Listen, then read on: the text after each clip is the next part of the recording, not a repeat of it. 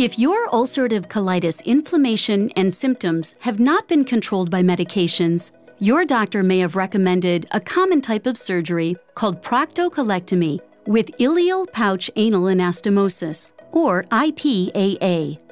It involves removing the colon and rectum to form what is often referred to as a J pouch.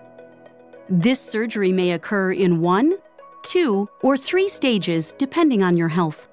We will review the most common procedure involving two stages.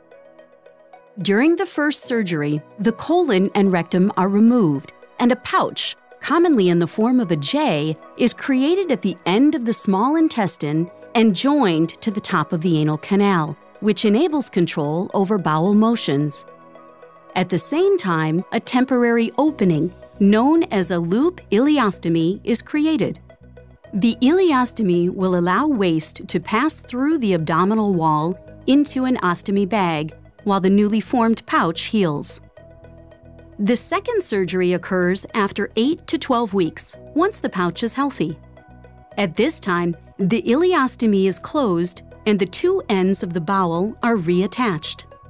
Waste is now able to pass through the small intestine, collect in the pouch, and out through the anus.